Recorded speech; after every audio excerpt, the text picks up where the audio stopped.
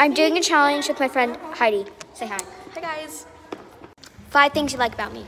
Um, your style, personality, your smile, um, your hair, and your outfits.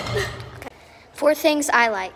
Um, Travis Kelce, um, Taylor Swift, the Kansas City Chiefs, and Takis. Three things I look good in. Um, you look good in black dresses and at this point anything. Two things I say a lot.